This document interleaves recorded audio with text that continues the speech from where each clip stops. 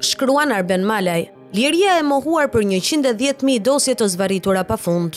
Vendimi i fundit i gjykatës kushtetuese për trajtimin e ankesave për zvarritjen e proceseve gjyqësore dhe veçanërisht rekomandimi i saj se situatat e jashtëzakonshme kërkojnë zgjidhje të jashtëzakonshme është mjaft pozitiv dhe shpresëdhënës për ta bërë më të qartë analizën në reformën në drejtësi Nuk po fokusohem tek gjysma plot e gotës së reformës, ku përfshihet ngritja e SPAK-ut dhe dhënia fund e kulturës së mosndëshkimit, që në fillim më duhet të theksoj se funksionimi i shtetit ligjor është një e mirë publike nga e cila duhet të përfitojnë të gjithë shqiptarët njëlloj.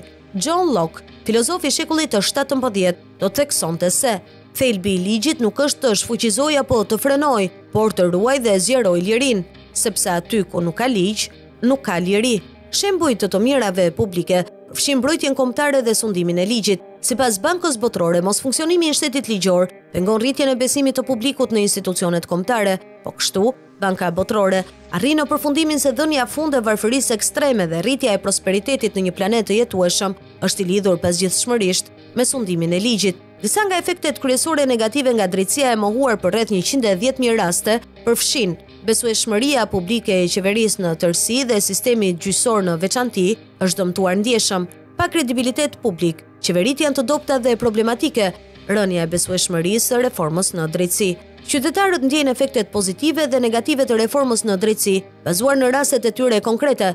Kostot sociale janë të rënda, janë rreth 300.000 persona njëqind e nëntë mijë raste herë tre persona për familje, që po paguajnë kosto të rënda për shkak të vonesave të zgjatura, tensione sociale mes palëve në gjykim, priren të rriten, deri në konflikte dhe vrasje mes palëve, efekti social nga zgjatja e çështjeve gjyqësore, duke vonuar dhe penguar investimin e tyre në ekonomi, prodhon papunësi dhe varfëri, dobësimi i qeverisjes, është një kosto që vjen nga zgjatja e proceseve gjyqësore, pasi vonesat krijojnë rrezik real për rritjen e korrupsionit.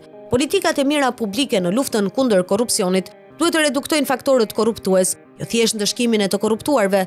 Fundi i mosndëshkueshmërisë është arritja më e madhe e reformës në drejtësi, por pa funksionimin e shtetit juridik në të gjitha aspektet, reforma në gjyqësor mbetet e paplotë dhe e paqëndrueshme, dobësimi i administratës publike është një kosto tjetër negative. Vonesat në gjykata kanë prekur rëndë administratën publike, Shumë shkarkime nga puna në administratë që aktualisht janë në gjyq, janë bërë për motive personale apo edhe partiake. Shumica e largimit të tyre janë përdorur për të krijuar vende të reja pune dhe për t'i përdorur ato për nepotizëm dhe shitje korruptive të vendeve të punës. Janë rreth 70 milion euro ose 7 miliard lek që u mbingarkohen taksapaguesve shqiptarë të varfër për shkak të pagesës së vendimeve gjyqësore të largimeve joligjore nga puna.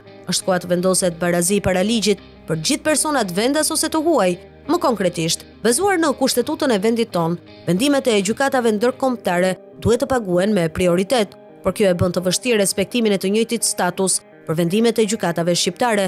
Ne nuk mund të ndryshojmë kushtetutën sepse ai parim synonte rritjen e sigurisë juridike për investitorët e huaj.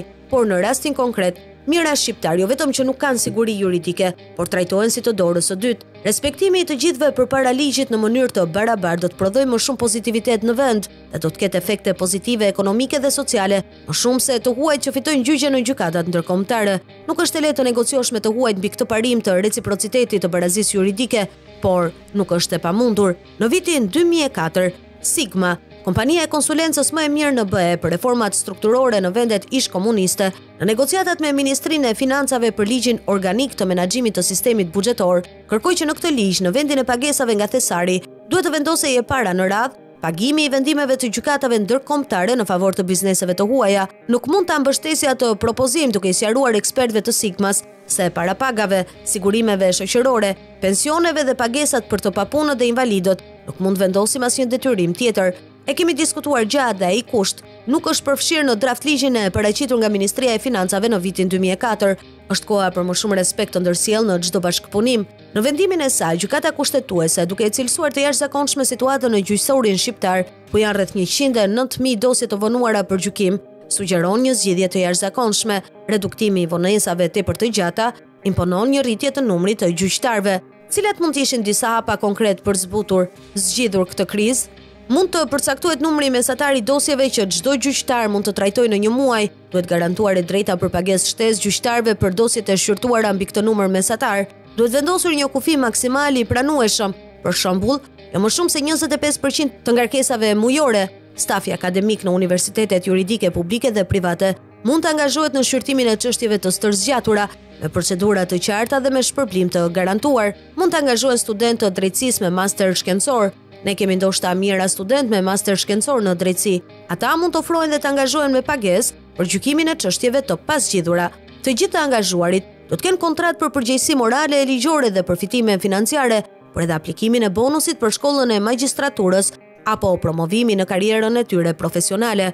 Për shembull, kur u aplikua për herë të parë profesioni i kontabilistit të miratuar me urdhër të ministrit, stafi mësimdhënës në departamentin e kontabilitetit fituan automatikisht titullin kontabilist i miratuar, ndërsa fazat e tjera të karrierës për profesione si auditues ligjor do t'i përfitonin përmes procedurave të licencimit. Në përfundim, për të gjetur një zgjidhje për këtë situatë, Nuk duhet të ketë asnjë justifikim se kuadri aktual ligjor po na pengon. Ligjet janë vullnet politik në përputhje me disa parime të rëndësishme dhe në kontekstin e situatave konkrete.